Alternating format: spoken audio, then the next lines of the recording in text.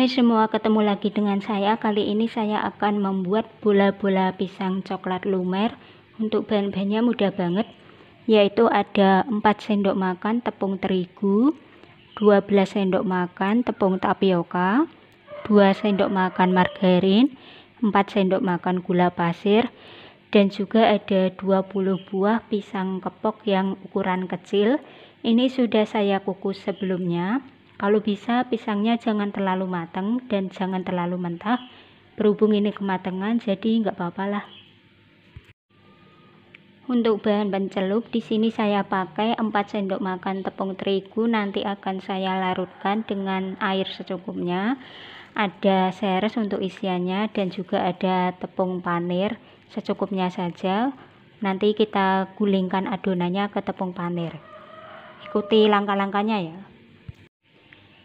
Pertama-tama saya akan mencampur semua bahannya ke dalam food processor dari Vienta jadi lebih praktis dan bisa menghemat waktu. Food processor ini memiliki 11 multifunction. Kalau bunda-bunda ada yang berminat nanti akan saya sertakan deskripsi di bawah ini ya. Nah untuk mencampurnya saya menggunakan mata pisau untuk menggiling daging atau chopper kita masukkan dulu pisangnya.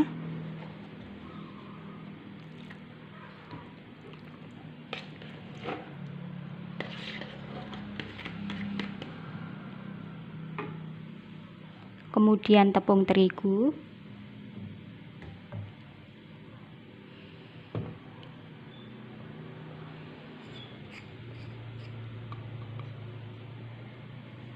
Tepung tapioka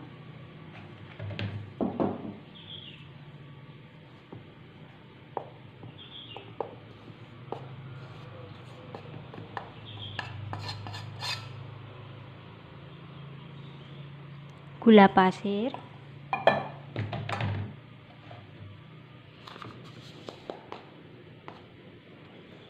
Dan margarin.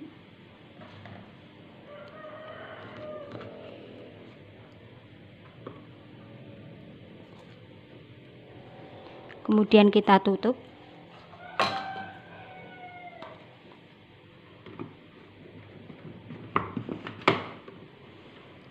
kita nyalakan di angka 1 sampai tercampur semua.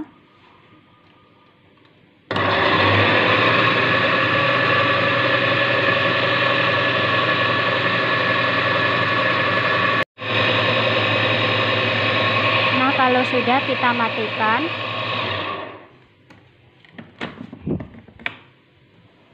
Ini mau saya ambil mata pisaunya terlebih dahulu ya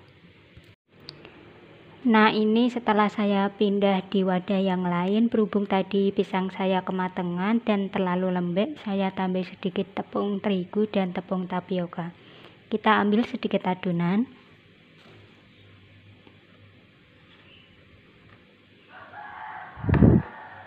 Kita pipihkan. Kita isi dengan seres secukupnya saja. Kita bulat-bulatkan. Seperti ini. Kalau sudah kita taruh di wadah.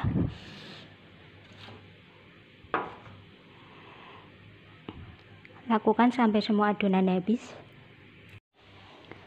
kalau sudah terbentuk semua, kita sisihkan sebentar. Kemudian di sini sudah saya sediakan bahan pencelup yang saya campurkan dengan secukupnya air.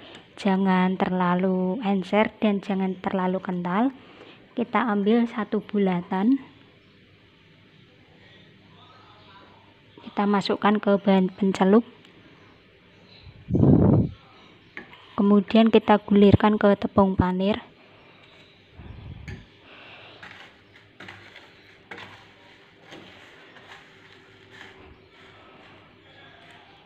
Kalau sudah kita siapkan wadah. Kita taruh di wadah. Lakukan sampai semuanya habis Nah, kalau sudah terbentuk semua, ini mau saya simpan dulu di kulkas selama kurang lebih 15 menitan agar tepung panirnya lebih menempel atau mau digoreng langsung juga bisa.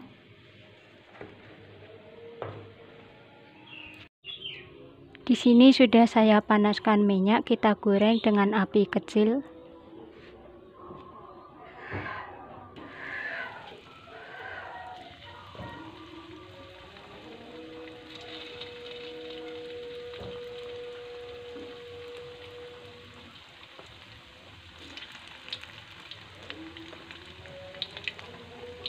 Kita masak sampai matang jangan lupa untuk dibolak-balik agar tidak gosong. Kalau sudah matang bisa kita angkat.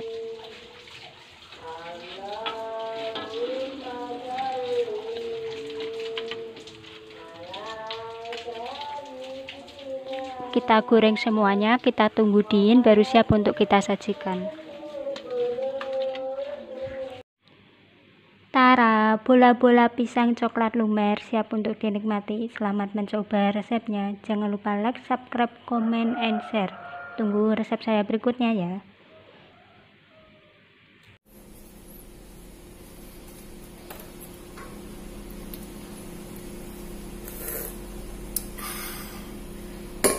Kopi melete mantap jiwa.